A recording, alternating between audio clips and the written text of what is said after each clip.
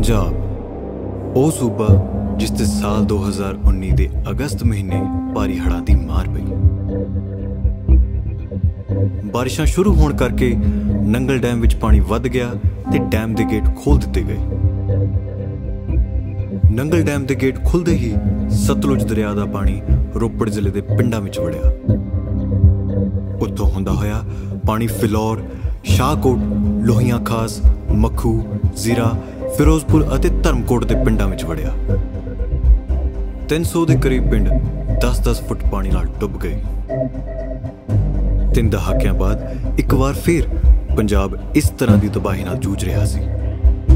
ਇਸ ਤੋਂ ਪਹਿਲਾਂ ਪੰਜਾਬ 9 ਸਤੰਬਰ 1988 ਵਿੱਚ ਭਾਰੀ ਹੜ੍ਹਾਂ ਦਾ ਸ਼ਿਕਾਰ ਹੋਇਆ ਸੀ।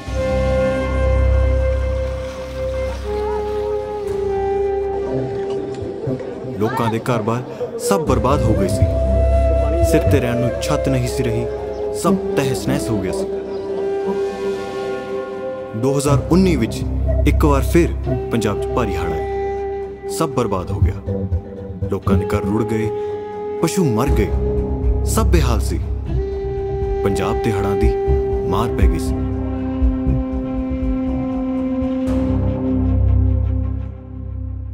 ਜਦੋਂ ਹੜ੍ਹਾਂ ਨੇ ਮਾਰ ਕੀਤੀ, ਪਾਣੀ ਪ੍ਰੈਸ਼ਰ ਦੇ ਨਾਲ ਪਿਆ ਜਾਂ ਪਾਣੀ ਉੱਥੇ ਸਟਕ ਹੋ ਗਿਆ, ਤਾਂ ਉੱਥੇ ਬੰਨ ਟੁੱਟਣੇ ਜਿਹੜੇ ਸ਼ੁਰੂ ਹੋਏ। ਲੋਕੀ ਸਾਨੂੰ ਰਾਤ ਰਾਤ ਨੂੰ 11 11 12 12 ਵਜੇ ਤੱਕ ਪੂਰੀ ਰਾਤ ਫੋਨ ਕਰਦੇ ਸੀ।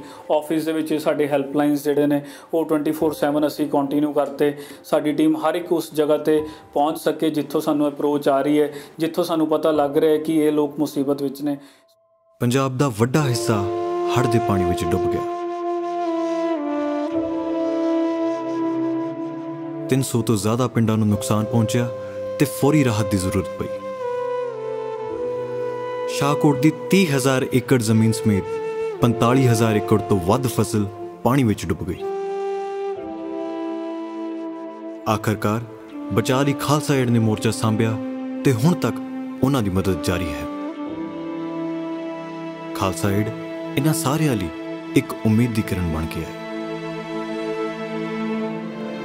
ਵਾਹਿਗੁਰੂ ਜੀ ਕਾ ਖਾਲਸਾ ਵਾਹਿਗੁਰੂ ਜੀ ਕੀ ਫਤਿਹ ਚੌਪਈ ਸਾਹਿਬ ਪਾਠ ਸਾਹਿਬ ਦਸਵੀਂ ਕਬਿਓ ਬਾਤ ਵੇ ਚੌਪਈ ਅਮਰੀ ਕਰੋ ਹਾਥ ਲੈ ਰਖਾ ਪੁਰਨ ਹੋਏ ਜਿਤ ਕੀ ਇੱਛਾ ਚਰਨਨ ਮਨ ਰਹਾ ਹਮਾਰਾ ਆਪਣਾ ਜਾਨ ਕਰੋ ਤੁਧ ਪਾਰਾ ਹਮਰੇ ਦੁਸ਼ਟ ਸਭੈ ਤੁਮ ਕਾਵੋ ਆਪ ਹਾਥ ਦੇ ਮੋਹਿ ਬਚਾ ਸੁਖੀ ਬਚਾ ਮੋਰੋ ਪਰਿਵਾਰਾ ਸੇਵਕ ਸਿੱਖ ਸਭੈ ਕਰਤਾਰਾ ਹੜ੍ਹ ਕਰਕੇ ਸੜਕਾਂ ਨੂੰ ਖਾਸਾ ਨੁਕਸਾਨ ਪਹੁੰਚਿਆ ਸੀ ਲੋਕਾਂ ਨਾਲ ਸੰਪਰਕ ਟੁੱਟ ਗਿਆ ਤੇ ਉਹ ਆਪਣੇ ਆਪਣੇ ਪਿੰਡਾਂ ਵਿੱਚ ਫਸ ਗਏ।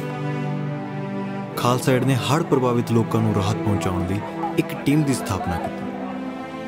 ਹੜ੍ਹ ਦੇ ਪਾਣੀ 'ਚ ਜਾ ਕੇ ਪਾਣੀ ਵਿੱਚ ਫਸੇ ਲੋਕਾਂ ਤੱਕ ਪਹੁੰਚ ਕੀਤੀ। ਲੋਕਾਂ ਨੂੰ ਕੱਢਿਆ ਤੇ ਕਿਸ਼ਤੀਆਂ ਰਾਹੀਂ ਸੁਰੱਖਿਅਤ ਥਾਵਾਂ ਤੇ ਪਹੁੰਚਾਇਆ।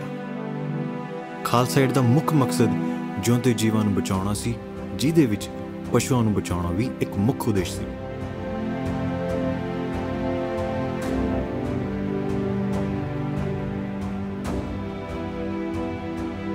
ਸ਼੍ਰੀ ਅਨੰਦਪੁਰ ਸਾਹਿਬ, ਰੂਪਨਗਰ, ਜਲੰਧਰ, ਫਿਰੋਜ਼ਪੁਰ ਅਤੇ ਮੋਗਾ ਵਿੱਚ ਵੱਖ-ਵੱਖ ਟੀਮਾਂ ਵੱਲੋਂ ਕੰਮ ਸੰਭਾਲੇ ਗਏ। ਪਾਣੀ ਦੀ ਤੇਜ਼ ਵਹਾਅ ਨਾਲ ਦਰਿਆ ਤੇ ਨਦੀਆਂ ਦੇ ਬੰਨਾਂ ਵਿੱਚ ਪਏ ਪਾੜਾਂ ਨੂੰ ਮਿੱਟੀ ਦੇ ਥੈਲਿਆਂ ਨਾਲ ਪੂਰਿਆ। ਦਿਨ ਰਾਤ ਮਿੱਟੀ ਦੇ ਥੈਲੇ ਬਣਾਏ ਤਾਂ ਜੋ ਪਾੜਾਂ ਨੂੰ ਪੂਰਿਆ ਜਾ ਸਕੇ। ਵਲੰਟੀਅਰਸ ਇੱਥੇ ਹੀ ਰਹਿੰਦੇ ਸਨ ਤੇ ਇੱਥੇ ਹੀ ਰੋਟੀ ਪਾਣੀ ਛਕਦੇ ਸਨ। ਰਾਹਤ ਕਾਰਜ ਲਈ ਸਾਰਿਆਂ ਨੇ ਦਿਨ ਰਾਤ ਇੱਕ ਕੀਤਾ।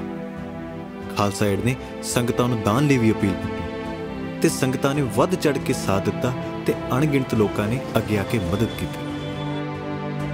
ਸੰਗਤਾਂ ਵੱਲੋਂ ਬਿਸਤਰੇ, ਕੱਪੜੇ ਤੇ ਹੋਰ ਜ਼ਰੂਰੀ ਸਮਾਨ ਵੀ ਦਾਨ ਕੀਤਾ ਗਿਆ। ਅਸੀਂ ਸੰਗਤ ਨੂੰ ਕੁਝ ਆਈਟਮਸ ਦੀ ਜਿਹੜੀ ਲਿਸਟ ਹੈ ਉਸ ਦੀ ਅਪੀਲ ਕੀਤੀ। ਅਸੀਂ ਜੋ ਐਕਸਪੈਕਟ ਕਰ ਰਹੇ ਸੀ, ਉਹ ਐਕਸਪੈਕਟੇਸ਼ਨਸ ਤੋਂ ਵੱਧ ਜਿਹੜਾ ਏਡ ਹੈ, ਉਹ ਸਾਨੂੰ ਸੰਗਤ ਨੇ ਦਿੱਤੀ। ਉਸ ਦੇ ਲਈ ਫਿਰ ਅਸੀਂ ਨਕੋਦਰ ਦੇ ਕੋਲ ਆਪਣਾ ਇੱਕ ਗਡਾਊਨ ਹੈ ਜਿਹੜਾ ਉਹ ਸੈਟਅਪ ਕੀਤਾ। ਸੰਗਤਾਂ ਵੱਲੋਂ ਦਾਨ ਕੀਤਾ ਸਮਾਨ ਆਉਣ ਤੋਂ ਬਾਅਦ ਖਾਲਸਾ ਏਡ ਵੱਲੋਂ ਨਕੋਦਰ ਵਿਖੇ ਆਪਣਾ ਗੋਦਾਮ ਉਸਾਰਿਆ ਗਿਆ। ਸੰਗਤਾਂ ਵੱਲੋਂ ਦਿੱਤਾ ਸਾਰਾ ਸਮਾਨ ਇਸ ਗੋਦਾਮ ਵਿੱਚ ਇਕੱਠਾ ਕੀਤਾ ਗਿਆ।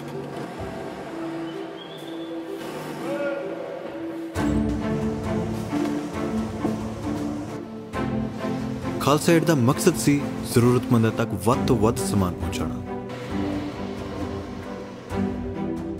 ਲੜਕੀਆਂ ਲਈ ਸੈਨੀਟਰੀ ਪੈਡ ਦਾਨ ਕਰਨ ਦੀ ਵੀ ਵਿਸ਼ੇਸ਼ ਮੰਗ ਕੀਤੀ, ਕਿਉਂਕਿ ਇਹ ਬਹੁਤ ਵੱਡੀ ਲੋੜ ਸੀ।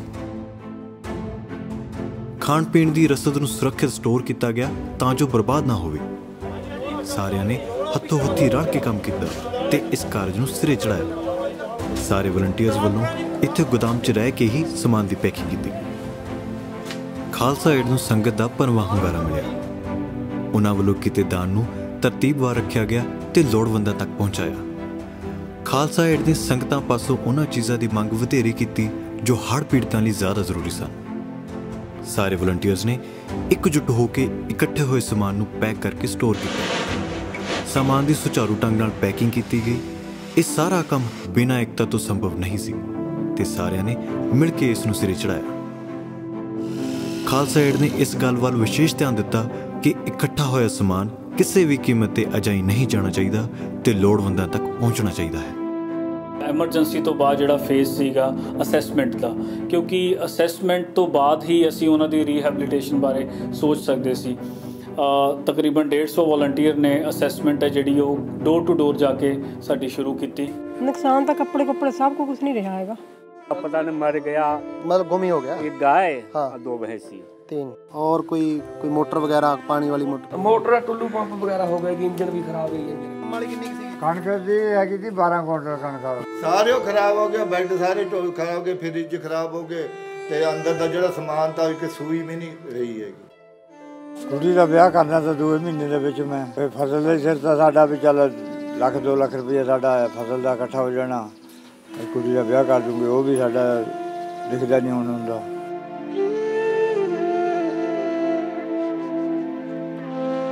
ਹੁਣ ਮਾੜੀ ਮੋਟੀ ਸਾਡਾ ਜਿਹੜਾ ਰੁਜ਼ਗਾਰ ਹੈ ਖੇਤੀ ਨਾਲ ਹੀ ਆ, ਇਹ ਮੱਝਾਂ ਨਾਲ, ਡੰਗਰਾਂ ਉਹ ਧੰਦਾ ਅਸੀਂ ਕਰਿਆ ਨਹੀਂ ਕਦੀ।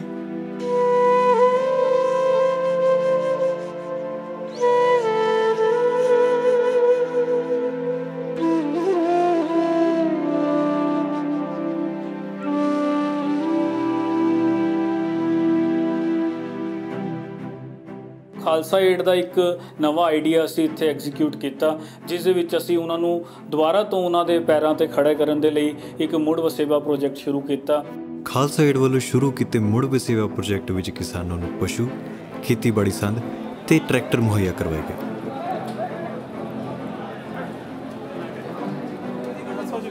65000 ਦੀ ਮੱਝ ਲਾ ਦਿੰਦਾ ਜੇ ਤੇਰਾ ਚੰਗਾ ਲੱਗਦਾ ਨਾ ਜੇ ਵੱਧ ਵਿਕਦੀ ਆ ਵੇਚ ਦੇ ਦੁੱਧ ਵਾਲਾ ਸੱਚ ਦੱਸੀ ਦੁੱਧ ਵਾਲਾ ਨਾ ਝੂਠ ਦੁੱਧ ਵਾਲਾ ਝੂਠ ਨਹੀਂ ਯਾਰ। ਦੁੱਧ 12 13 ਲੀਟਰ ਦੁੱਧ। ਕਿੰਨਾ ਕਿੰਨਾ ਦਾ? ਨਹੀਂ ਨਹੀਂ। ਇੱਕ ਮਿੰਟ ਮੇਰੀ ਗੱਲ ਨਸ਼ਾ ਰੱਖ ਲੈ ਨਹੀਂ ਨਹੀਂ ਮੇਰੀ ਮੇਰੀ ਗੱਲ ਰੱਖ ਲੈ ਜਾ ਜਿੱਤੇ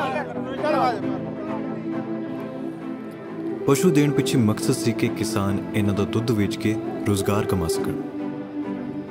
ਰੋਜ਼ਗਾਰ ਦਾ ਸਾਧਨ ਹੋਵੇਗਾ, ਤਾਂ ਇਹ ਲੋਕ ਆਪਣੇ ਪੈਰਾਂ ਤੇ ਖੜ ਸਕਣਗੇ ਤੇ ਆਤਮ ਨਿਰਭਰ ਬਣ ਸਕਣਗੇ। ਦੋ ਜਾਂ ਤਿੰਨ ਦਿਨ ਸਾਨੂੰ ਮੱਝਾਂ ਆਪਦੇ ਕੋਲ ਰੱਖਣੀਆਂ ਪੈਂਦੀਆਂ ਨੇ। ਸੋ ਖਰੀਦ ਕੇ ਇੱਥੇ ਫਾਰਮ ਹੈਗਾ ਮੜਿਆਣੀ ਵਿੱਚ ਤੇ ਇੱਕ ਫਾਰਮ ਬੋਪਰ ਰਾਏ ਕਲਾਮਾ ਜਿੱਦਾਂ ਕੋਈ ਮੱਝ 'ਚ ਖਰਾਬੀ ਹੁੰਦੀ ਆ ਤਾਂ ਸਾਨੂੰ ਇੱਕ ਦਿਨ 'ਚ ਪਤਾ ਲੱਗ ਜਾਂਦਾ ਇੱਥੇ ਆ ਕੇ। ਤੇ ਹੁਣ ਤੱਕ ਅਸੀਂ ਤਿੰਨ ਮੱਝਾਂ ਇੱਥੋਂ ਫਾਰਮ 'ਚੋਂ ਵਾਪਸ ਕਰ ਚੁੱਕੇ ਹਾਂ ਜਿਹੜੀਆਂ ਜਿਹੜਾ ਦੋ ਦਿਨ ਇੱਥੇ ਰਹਿੰਦਾ, ਇਸ ਦਾ ਇਹੀ ਫਾਇਦਾ ਕਿ ਚੰਗੀ ਤਰ੍ਹਾਂ ਮੱਝ ਦੀ ਵੀ ਵੈਰੀਫਿਕੇਸ਼ਨ ਹੋ ਜਾਂਦੀ ਹੈ ਸਹੀ ਤਰੀਕੇ ਨਾਲ।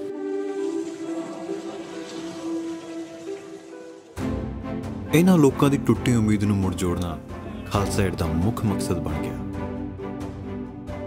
ਖਾਲਸਾ ਏਡ ਨੇ ਉਹਨਾਂ ਨੂੰ ਹਰ ਚੀਜ਼ ਮੁਹੱਈਆ ਕਰਵਾਈ, ਜਿਸ ਨਾਲ ਉਹ ਅੱਗੇ ਵੱਧ ਕੇ ਆਪਣੀ ਜ਼ਿੰਦਗੀ ਦੀ ਨਵੀਂ ਸ਼ੁਰੂਆਤ ਕਰ ਸਕਣ। ਉਹਨਾਂ ਦੀ ਇਹ ਕੋਸ਼ਿਸ਼ ਸੀ ਕਿ ਪਿੱਛੇ ਬੀਤੇ ਨੂੰ ਭੁੱਲ ਕੇ ਇਹਨਾਂ ਨੂੰ ਅੱਗੇ ਵਧਣ ਲਈ ਪ੍ਰੇਰਿਤ ਕੀਤਾ ਜਾਵੇ।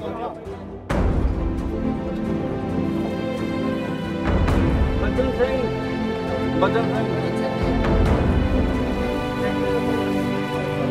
ਬਲਵੰਤ ਸਿੰਘ। ਇਹਨਾਂ ਪਸ਼ੂਆਂ ਦੀ ਇੱਕ ਇੱਕ ਮਹੀਨੇ ਦੀ ਫੀਡ ਵੀ ਪਰਿਵਾਰਾਂ ਨੂੰ ਮੁਹੱਈਆ ਕਰਵਾਈ ਗਈ। ਤਾਂ ਜੋ ਲੋਕਾਂ ਨੂੰ ਖਰਚੇ ਸੰਬੰਧੀ ਕਿਸੇ ਕਿਸਮ ਦੀ ਕੋਈ ਦਿੱਕਤ ਨਾ ਆਵੇ ਅਤੇ ਉਹਨਾਂ ਤੇ ਕੋਈ ਵਿੱਤੀ ਭਾਰ ਨਾ ਪਵੇ।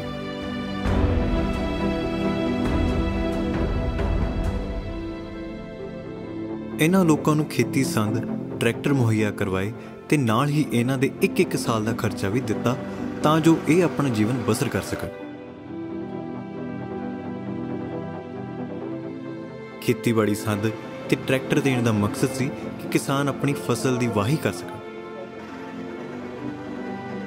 ਹੜ੍ਹ ਪੀੜਤ ਪਿੰਡਾਂ ਨੂੰ ਫਸਲਾਂ ਲਈ ਖਾਦ ਵੀ ਮੁਹੱਈਆ ਕਰਵਾਈ ਤਾਂ ਜੋ ਉਹਨਾਂ ਤੇ ਮਾਲੀ ਭਾਰ ਨਾ ਪਵੇ ਤੇ ਉਹ ਫਸਲਾਂ ਦੀ ਸੰਭਾਲ ਬਿਨਾਂ ਕਿਸੇ ਚਿੰਤਾ ਦੇ ਕਰ ਸਕਣ।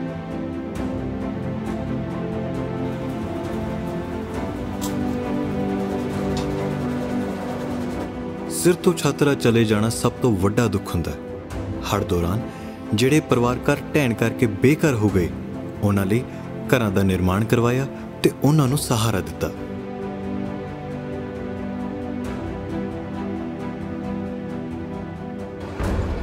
ਖਾਲਸਾ ਵੱਲੋਂ ਕਈ ਪ੍ਰੋਜੈਕਟ ਸ਼ੁਰੂ ਕੀਤੇ ਗਏ ਹਨ, ਜੋ ਹੜ੍ਹ ਪ੍ਰਭਾਵਿਤ ਲੋਕਾਂ ਲਈ ਕਾਰਗਰ ਸਾਬਿਤ ਹੋਣਗੇ। ਖਾਲਸਾ ਦਾ ਮਕਸਦ ਜ਼ਰੂਰਤਮੰਦਾਂ ਦੀ ਮਦਦ ਕਰਨਾ ਤੇ ਉਜੜਿਆਂ ਨੂੰ ਮੁੜ ਵਸਾਉਣਾ ਹੈ। ਉਜੜ ਗਏ ਲੋਕਾਂ ਨੂੰ ਮੁੜ ਤੋਂ ਆਪਣੇ ਪੈਰਾਂ ਤੇ ਖੜਾ ਕਰਨ ਵੱਲ ਖਾਲਸੇੜਾ ਏਡ ਆਪਣੀ ਵਿਸ਼ੇਸ਼ ਤਵੱਜੋ ਦੇ ਰਿਹਾ ਹੈ। ਤੇ ਇਹ ਰਾਹਤ ਕਾਰਜ ਨਿਰੰਤਰ ਜਾਰੀ ਹੈ।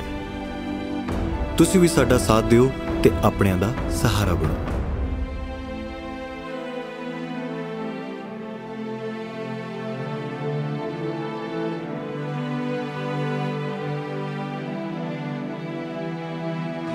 ਆ ਮੇਰੇ ਆਸਰੇ ਬਣਾਉਂਦੇ ਚੱਲ ਮੈਂ ਚੱਲ ਜੀ ਆ ਜੰਤ ਲੈ ਕੇ ਜਾਊਂਗਾ ਇੰਨਾ ਹੀ ਬਹੁਤ ਤੁਹਾਡੀ ਬਰਖਦਾਰੀ ਪੁੱਛਾਵਾ ਛੇ ਪੁੱਤਰਾ ਤੇਰੇ ਗੱਲ ਤੇ